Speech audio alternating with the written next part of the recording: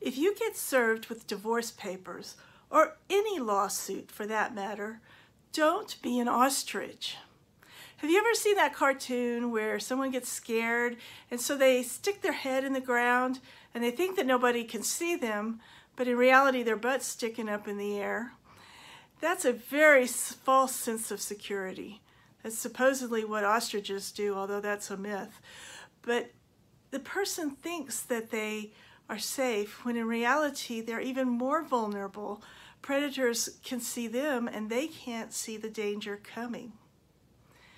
My name is Laura Heard, and I'm an attorney who has practiced family law in San Antonio, Texas for more than 34 years. I've seen it all. And this is a very common scenario. I have a client, we'll call her Stephanie. That's not her real name, but Stephanie came to my office and she was crying and she was very upset. She was in shock. And what happened was she had been served with divorce papers and with a proposed final agreed decree of divorce that said that they would split everything equally. But she didn't want to get divorced. She didn't want this to happen.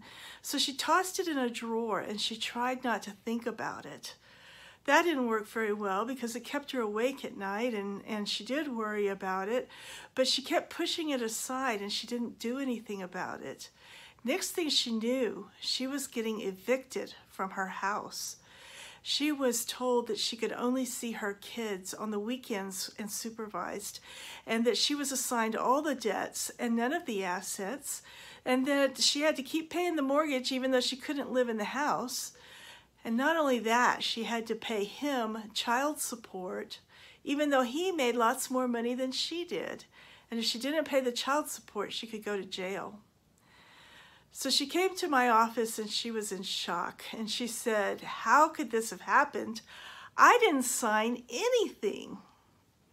The reality is, he didn't have to give her any more notice. He went down to the courthouse, he got the order signed, and that's perfectly legal.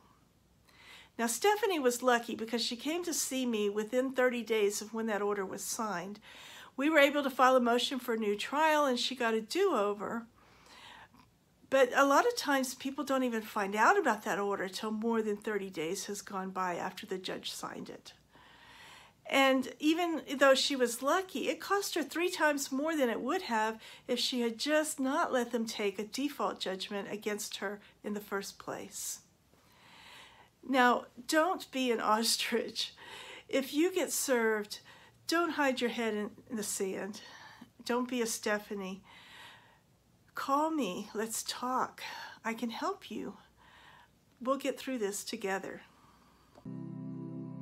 I do. I did. I'm done. Come see me.